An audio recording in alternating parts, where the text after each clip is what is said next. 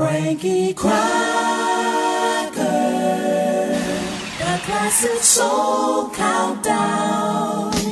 We're back on Jack with the Boss Piece of Wax, continuing with the top songs from the third week of October 1974. And some of the celebrities that were born during the third week of October include Tito Jackson, Chuck Berry, Peter Tosh, Ziggy Marley, George McCrae, actor Howard Rollins, Bobby Humphries, Wynton Marsalis, and Jennifer Holliday.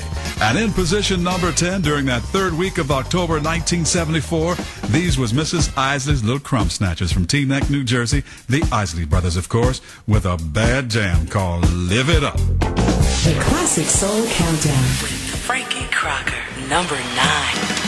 Oh, you talking about putting a big on with that record, Mr. Marvin Gaye with just one of his many signature songs, Distant Lover, coming in at number nine. You know, I was just sitting here thinking about Jennifer Holliday, who, as I mentioned a moment ago, is celebrating her birthday this week. You know, her biggest success came from the Broadway play Dreamgirls, which of course reminds us of the Dreamgirls of the 60s, the Supremes. Now let's play another countdown bonus song. Now here is the Tony and Grammy award winning single that made us remember why some people can sing and others can just flat out sang. Here is Miss Jennifer Holliday, and I'm telling you, I'm not going.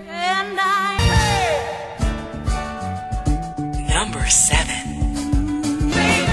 My man Johnny Bristol said, hang on in there, baby, coming in at number seven during the third week of October 1974.